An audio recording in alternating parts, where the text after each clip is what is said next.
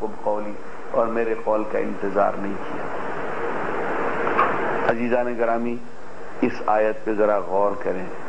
اللہ کا ایک نبی اپنی قوم کو دیکھتا ہے، اپنے بھائی کی قوم کو دیکھتا ہے کہ وہ گسالہ پرستی کر رہے ہیں، کھلا کھلا شرک کر رہے ہیں بچڑے کی پوجا کر رہے ہیں۔ وہ ان کو روکتا ہے، وہ ان کو سمجھاتا ہے، لیکن ان کو امت سے خارج نہیں کرتا۔ ان کے خلاف تشدد نہیں کرتا۔ ان کے خلاف فتوے بازی نہیں کرتا۔ صرف بات سمجھا کے خاموش ہو جاتا۔ اس لیے کہتا ہے خشی تو انتقول فرق فرق بین بنی میں اس بات سے ڈر گیا تھا کہ تو ہی مجھے کل آ کے کہے گا کہ بنی اسرائیل کو تو نے ٹکڑے ٹکڑے کر دیا۔ بنی اسرائیل کو تو نے فرقہ فرقہ بنا دیا۔ پتہ یہ چلا کہ اللہ کا نبی شرک کو برداشت کر لیتا ہے بچڑے کی پوجا کو برداشت کر لیتا ہے، لیکن قوم کو ٹکڑے ٹکڑے، فرقے فرقے بنانے پہ تیار نہیں ہوتا۔ اے کاش اس بات پہ ہم کبھی غور کر لیتے۔ اور کجا یہ؟ یعنی میں نے دیکھا یعنی یہ واقعہ میرے سامنے نہیں ہوا، لیکن میں اس زمانے میں وہی تھا۔ شکر گڑھ کی سب سے بڑی جامعہ مسجد میں ایک بیچارہ قسمت کا مارا، دوسرے فرقے کا آدمی آ گیا، اس نے نماز پڑھ لی۔ تو امام صاحب نے، خطیب صاحب نے حکم دیا، دو آدمی آئے، اس کو سجدے کے عالم سے اٹھایا۔ ایک آدمی نے اس کو پیچھے پاؤں سے، ٹانگوں سے پکڑا، ایک نے ہاتھوں سے پکڑا، اس کو جناب گسیٹتے ہوئے لے گیا، مسجد سے باہر پھینک دیا اور پھر مسجد کو دھویا۔ اللہ کے بندو، اگر مسجد نبوی میں نجران کے عیسائی آ جاتے ہیں اور اللہ کا رسول صلی اللہ علیہ وسلم ان کو مسجد میں ہی ٹھہرنے کا حکم دیتے ہیں پھر وہ کہتے ہیں کہ یا رسول اللہ، ہم اپنے طریقے سے، اپنے مذہب کے مطابق عبادت کر لیں۔ اور اللہ کا رسول ان کو، عیسائیوں کو، مسجد نبوی میں ان کے عیسائی مذہب کے مطابق عبادت کرنے کی اجازت دے دیتے ہیں۔ تو تمہیں کچھ تو شرم آنی چاہیے۔ بالکل ہی ڈھیٹ اور بے شرم ہو گئے۔ اور مسجدوں پہ نام لکھے ہوئے ہیں فرقوں کے۔ اور اب تو اعلانات ہوتے ہیں کہ اس فرقے کے علاوہ کوئی اور صاحب تکلیف نہ فرمائے۔ ایک سینئر ڈاکٹر کے ہاں میں پرسوں گیا، خواجہ صادق حسین صاحب۔ عشاء پڑھنے کا میں نے کہا، ڈاکٹر صاحب، یہ مسجد کہنے لگا اس مسجد میں میرا داخلہ ممنوع میں نے کہا، کیوں؟ کہنے لگا وہ چھ رمضان کی بات ہے کہ میں نے مجھے مولوی صاحب میں نماز پڑھ رہا تھا۔ انہوں نے جب انہوں بالین کہا، میں نے اونچی آواز سے آمین کہہ دیا۔ انہوں نے کہا وہ جس نے آمین کہا ہے کوئی اور مسجد ڈھونڈ لے۔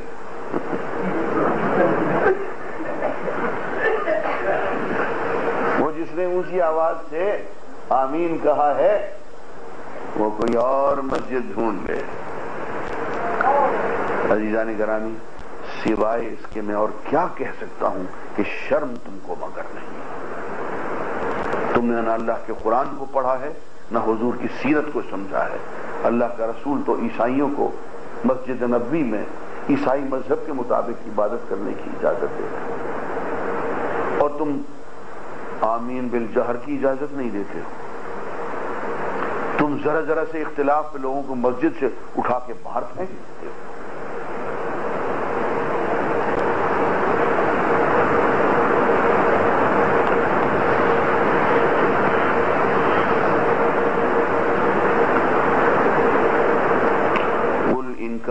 لكم الدار الآخرة عند الله خالصة من دون الناس فتمنوا الموت ان کنتم صادقین اے نبی صلی اللہ علیہ وآلہ وسلم، ان سے کہیے کہ اگر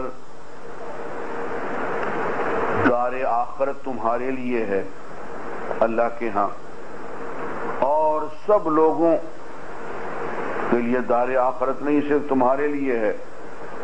تو پھر ایک کام کرو۔ فتمنا الموت۔ پھر موت کی تمنا کا اظہار کرو۔ اللہ کا یہ رسول بیٹھا ہوا ہے۔ اس کے سامنے کہو کہ دار آخرت ہمارے لیے ہے۔ مرتے ہی ہم سیدھے جنت میں چلے جائیں گے۔ ہمیں جنت چاہیے۔ ہمیں موت چاہیے۔ اللہ کا رسول آمین کہے گا۔ سودا قبول ہے۔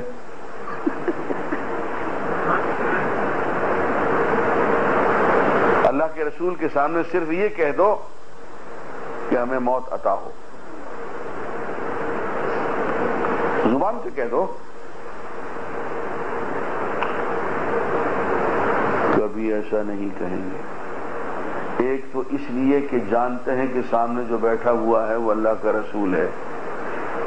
ہم نے منہ سے کہہ دیا، اس نے آمین کہہ دیا تو یہیں ڈھیر ہو جائیں گے۔ یہ نہیں پتا وہ نجران کے عیسائی بھی آئے۔ ان کو بھی حضور اکرم صلی اللہ علیہ وآلہ وسلم نے دعوت مباہلہ دی۔ مباہلہ یہ ہوتا ہے کہ دو گروہ ہیں، اللہ کا رسول ہے اور اللہ کا رسول جو ہے سامنے والے لوگوں سے کہتا ہے کہ آؤ دعا کرتے ہیں کہ ہم دونوں میں جو حق پر ہے اللہ اس کی مدد کرے اور جو حق پہ نہیں ہے اللہ اپنا قہر اس پہ نازل کرے۔ یہ اللہ کا رسول یہ دعوت دیتا ہے اللہ کے حکم سے۔ اللہ کے رسول کو یہ معلوم بھی ہوتا ہے کہ یہ بھاگ جائیں گے۔ یہ دعوت مباہلہ قبول نہیں کریں گے۔ یہاں پہ بھی یہ دعوت مباہلہ ہے۔ کہ اچھا بھائی، تم ابناء اللہ و احباء ہو اللہ کے بیٹے ہو، اللہ کے محبوب ہو، دار آخرت سارا تمہارے لیے ہے اور کسی کے لیے نہیں۔ جنت فردوس تمہارے لیے۔ ادھر تمہاری جان نکلی، ادھر سیدھے تم جنت فردوس میں چلے جاؤ گے۔ تو آؤ تمہیں جنت فردوس پہنچاتے ہیں۔ تم اللہ کے رسول کے سامنے موت کی تمنا کا اظہار کر دو۔ صرف زبان سے کہہ دو کہ اللہ ہمیں موت عطا فرما دے۔ پھر دیکھو تماشا کیا ہوتا۔ فتمنا الموت، موت کی تمنا کرو۔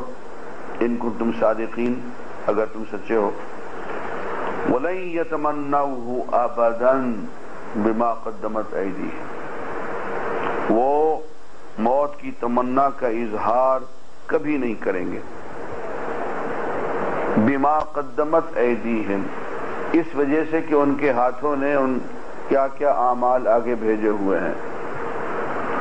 ان کو پتہ اچھی طرح سے جانتے ہیں کہ مرنے کے بعد ان کا حشر کیا ہوگا ان اعمال کی وجہ سے۔ اس لیے موت کی تمنا کا اظہار نہیں کریں گے۔ واللہ علیم بالظالمین۔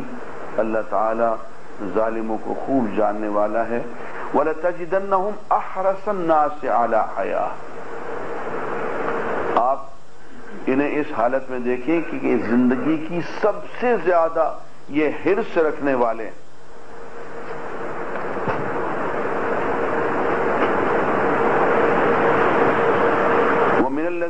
الَّذِينَ أَشْرَكُوا اور ان کی حرص جو ہے زندگی کی مشرقین سے بھی زیادہ ہے۔ یود احدهم ان میں سر شخص یہ چاہتا ہے، لو یعمر الف سنہ، کہ اس کو ہزار سال کی زندگی ملے۔ وما هو بمزحزحه من العذاب۔ اور یہ لمبی زندگی ان کو عذاب سے بچا تو نہیں سکے گی۔ آخر کار تو مرنا ہے۔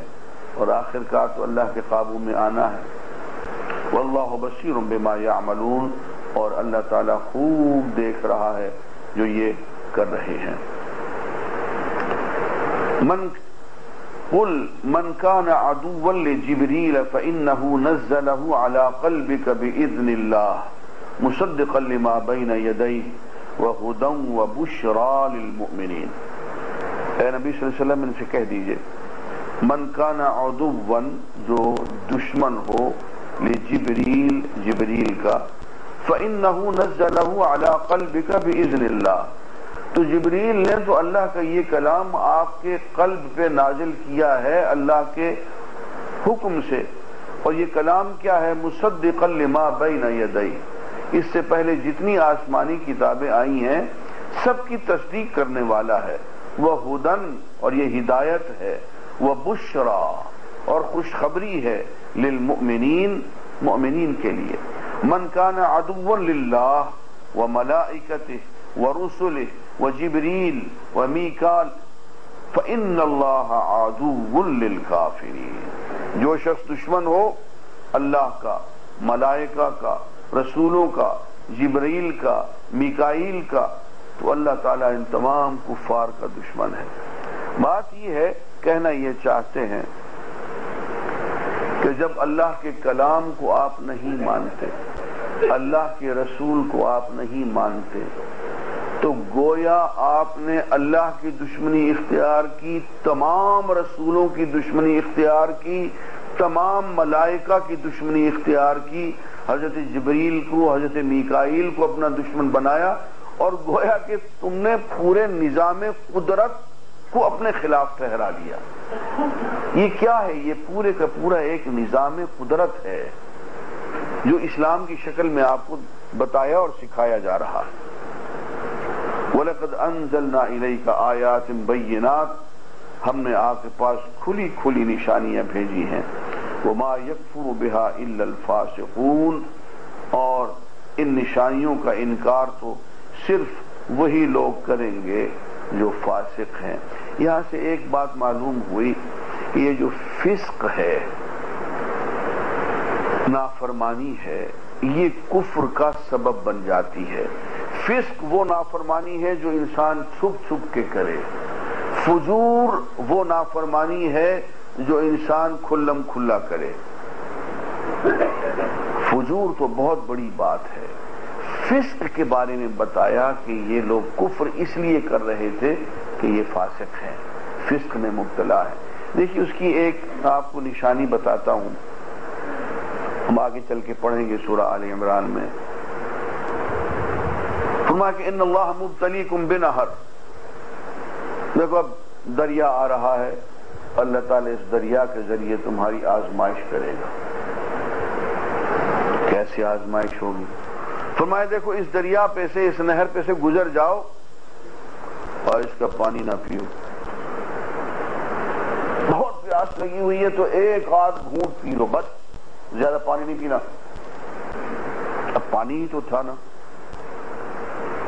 لیکن انہوں نے پانی پی لیا۔ اب پانی پینے کے بارے بعد نتیجہ کیا نکلا؟ فرماتے ہیں، لا طاقت لنا اليوم بجالوت. ہم میں اب یہ تالوت کا لشکر جا رہا ہے، جس میں حضرت داؤد بھی ہیں، اللہ کا نبی بھی ان کے اندر موجود ہے۔ لشکر سے یہ کہا گیا ہے کہ اس دریا سے پانی نہیں پینا۔ بہت پیاس لگی ہوئی ہے تو بس ایک آدھ گھوٹ زیادہ نہیں۔ یار لوگوں نے غٹا غٹ پانی پی لیا، پیٹ بھر لیا۔ جو پانی پی لیا اور جنگ کا موقع آ گیا، تو کہتے ہیں، لا طاقت لنا اليوم بجالوت جالوت کے مقابلے میں لڑنے کی اب ہم میں طاقت نہیں ہے۔ وہ یار، تھوڑی دیر پہلے تک تو یہ طاقت موجود تھی، یہ طاقت کہاں چلی گئی؟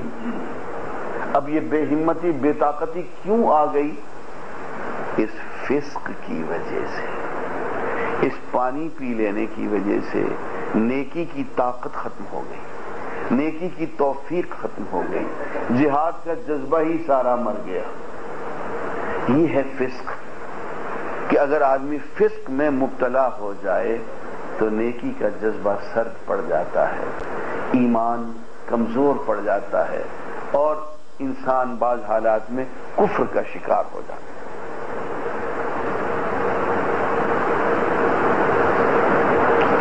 فرمایا یہ اس لیے کفر کا شکار ہوئے کہ یہ فاسقین تھے۔ اب کلما آہدو احدن نبدہ فریق منہم بل اکثرهم لا یؤمنون اور جب کبھی لوگوں نے کوئی عہد کیا، تو اس عہد کو ان میں سے دوسرے فریق نے پھینک دیا نظر انداز کر دیا۔ اور ان میں سے اکثر لوگ ایسے ہیں جو ایمان نہیں رکھتے۔ ولما جاءهم رسول من عند اللہ، جب ان کے پاس اللہ کی طرف سے رسول آ گیا، مصدق لما معهم، اور وہ انہی کی پاس کی تعلیمات کی تصدیق کرنے والا، نبذ فریق من الذین اوتوا الكتاب، کتاب اللہ وراء ظہورہم کأنہم لا يعلمون اب عزیزان گرامی، ذرا سا سینسٹیو حصہ شروع ہو رہا ہے۔ حساس، تھوڑا سا آئینہ۔ اب ذرا دیکھنے کی ہمت کیجیے۔ ہوا یوں کہ فرماتے جب اللہ کا رسول آ گیا، کتاب لے کے آیا، ایسی کتاب جو ان کی کتاب کی تصدیق کر رہی ہے، نبذ فریق من الذین اوتوا الکتاب۔ کتاب اللہ وراء ظہورہم تو ان کے ایک فریق نے اللہ کی کتاب کو پس پشت ڈال دیا۔ کس کتاب کو؟ خود اپنی کتاب کو توریت کو پس پشت ڈال دیا۔ اب گفتگو ہوتی ہے توریت کا حوالہ دیا جاتا ہے، ماننے کو تیار نہیں ہے۔ توریت کھولنے کو تیار نہیں ہے۔ توریت کو خود بنیاد بنانے کو تیار نہیں ہے۔ خود اسی توریت کو جس پہ ایمان کا دعویٰ ہے، اسے پشت ڈال دیا۔ کَأَنَّهُمْ لَا يَعْلَمُونَ گویا کہ اس توریت کو وہ جانتے ہی نہیں ہے